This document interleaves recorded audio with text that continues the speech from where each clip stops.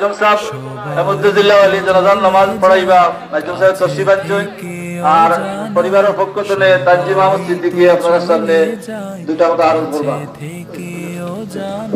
আসসালামু আলাইকুম। চলে যাওয়া আমি লাগি ওটাও করুন তাই দেশের মধ্যে চৌত্রিশটা বছর আসলা সেই লোকে যদি কোনো মাত্র কষ্ট দিয়া তখন আমার আব্বার মাফ করে দিবা।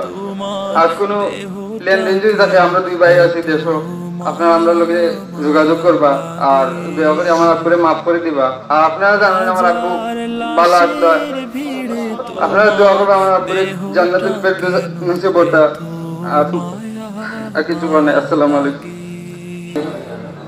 উস্তাজুল উলামা মসলক আহলে সুন্নাতুল জামাত এবং আমরা সংগঠন সবকিছুর অভিভাবক আসলাম।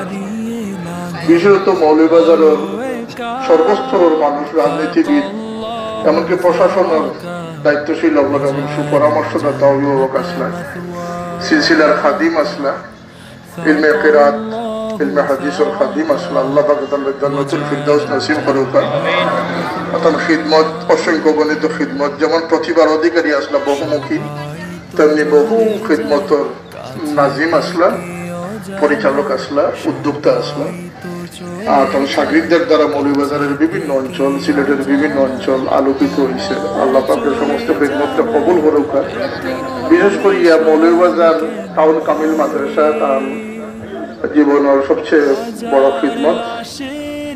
এই খেদমতটা আল্লাহ জারি রাখুক। আজকে যারা আপনারা তার মহাব্বত এখানে জমা হয়েছেন হজরত বিশেষ করে হজরত সাবদুল্লাহ রহমতুল্লাহ আলহির মহিবিন যারা আসেন আপনার প্রতি আপনার গুজারের যে মাদ্রাসাটার প্রতি যত লক্ষ্য রাখবা তার প্রতি মহব্বতর একটা জড়িয়ে হইব। আর তান তখন বাড়িতে হইব তান আব্বা আম্মায়ের আর কিনারা তো আমরা ওখান থেকে তাহলে জানাজা শেষে বিদায় দিব। আর তার সম্পর্কে জরুরি কিছু কথা বর্তমান অধ্যক্ষ মহান শামসুল ইসলাম সাহেব যে